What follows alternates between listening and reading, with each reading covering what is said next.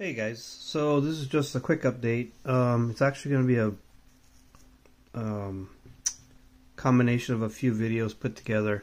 This will probably be the only update that I do as I'm almost finished putting this together. Well, it may not look like it, but it's almost there.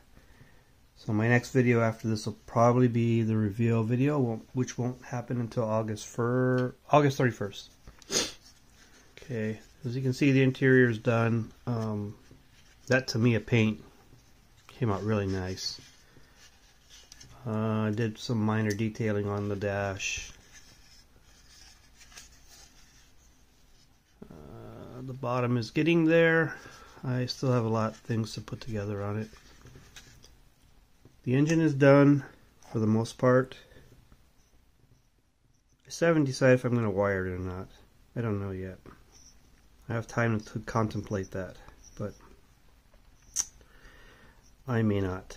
These are pretty complicated when it comes to the wiring on them. Um, the body came out really nice. It's got a nice gloss to it, nice sheen. So the paint on the car that I used is actually automotive paint. Um, it's the original color that was on my 2004 Mach 1. It is um, automotive paint. The clear on it is also for an automotive product for the same for the same from the same company for automotive use. And um, it's called Automotive Touch Up. And it's actually an acrylic, acrylic lacquer. Um, part of the video I show the, the bottle on it. All the windows are pretty much done.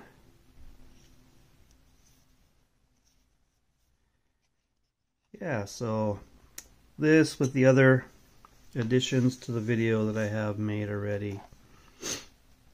Uh, nice little update video. And I hope you guys had a great 4th of July. And take care. And I'll talk to you again later. Bye.